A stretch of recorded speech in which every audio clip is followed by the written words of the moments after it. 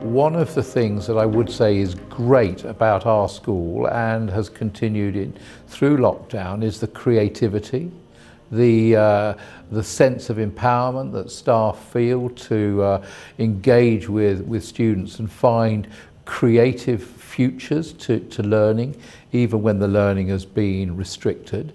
And I think when I talk with uh, children in the school, they, they, they really do feel that being in our school, being in a Nord Anglia school, there's a sense of uh, care. There are many people that they can go to when they need that. And, and of course, that, then that prevails in all of the best schools. But, but without that, you can't have the really great learning.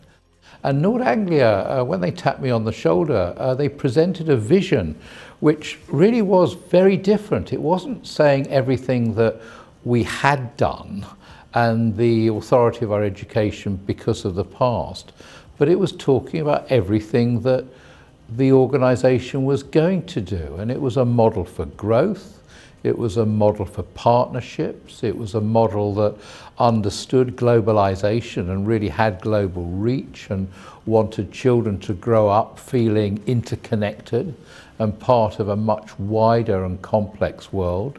Um, and above everything else, I mean, it was a, a model for investment in, in teachers. So the teacher development that um, was being introduced uh, very early on was really quite second to none. And, uh, and I think that's still borne out in all of our leadership training programs and in Nord Anglia University. And, and, and I notice that when I'm interviewing um, staff who are looking for a, possibility of joining us and joining Nord Anglia. And when you ask them what is it about uh, Nord Anglia education that makes a difference, invariably they say it's uh, to do with the uh, staff development and uh, professional investment, uh, investment in professional development that uh, we have committed to.